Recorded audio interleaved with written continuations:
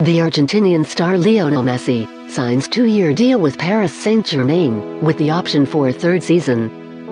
Messi will wear the number 30, as revealed in a video by the club, the number he had when he began his professional career at Barcelona between 2004-5 and 6 seasons. Lionel Messi finally signed his eagerly anticipated Paris Saint-Germain contract on Tuesday night to complete the move that confirms the end of a career-long association with Barcelona and sends PSG into a new era. PSG said in a statement that the 34 years old Argentine star signed a two years deal with the option for a third season. Messi said, I am excited to begin a new chapter of my career at Paris Saint Germain. Everything about the club matches my football ambitions. I know how talented the squad and the coaching staff are here. I am determined to help build something special for the club and the fans, and I am looking forward to stepping out onto the pitch at the Parc des Princes.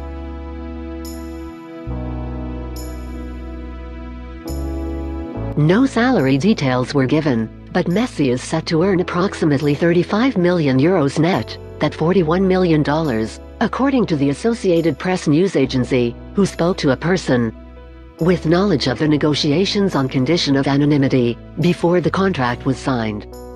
PSG chairman, Nasser Al-Khelaifi said, I am delighted that Lionel Messi has chosen to join Paris Saint-Germain, and we are proud to welcome him and his family to Paris. He has made no secret of his desire to continue competing at the very highest level Android winning trophies, and naturally our ambition as a club is to do the same.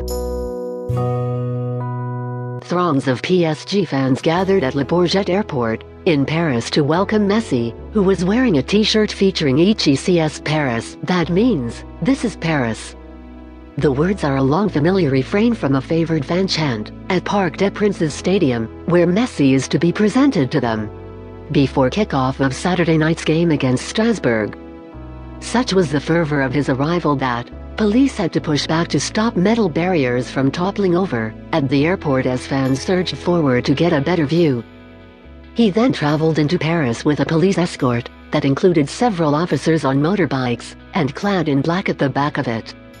As disbelief at landing one of football's all-time greats turned to sheer enthusiasm, many gathered for a glimpse of Messi at the stadium.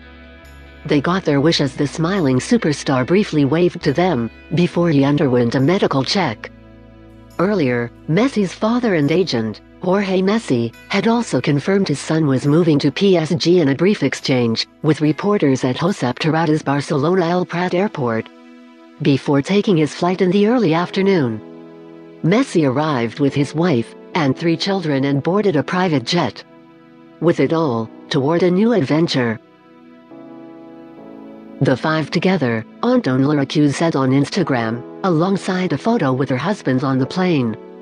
Back together, PSG supporters have seen their club transformed over the last 10 years since the influx of Qatari sovereign wealth investment linked to the Emir. Once Messi's Barcelona contract expired, and the Catalan club could not afford to keep him, PSG was one of the few clubs that could finance a deal to sign the six-time World Player of the Year. Messi's arrival gives PSG formidable attacking options, as he links up with France World Cup winner, Kylian Mbappé, and Brazil forward Neymar Jr. Back together, Neymar posted on Instagram, over a video of them hugging, playing for Barcelona. While PSG had to pay 222 million euros, that $261 million, to sign Neymar from Barcelona in 2017, there was no transfer fee for Messi. Messi became the most desired free agent in football history, after his attempts to stay at Barcelona were rejected last week by the Spanish League.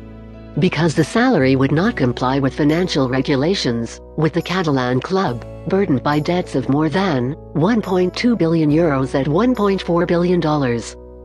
PSG coach Mauricio Pochettino quickly contacted his fellow Argentine after Barcelona announced last Thursday that Messi would be leaving the club he joined as a 13 years old.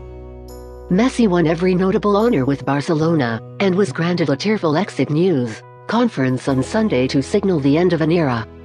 Only Cristiano Ronaldo, in the current era challenges Messi's status as an all-time great.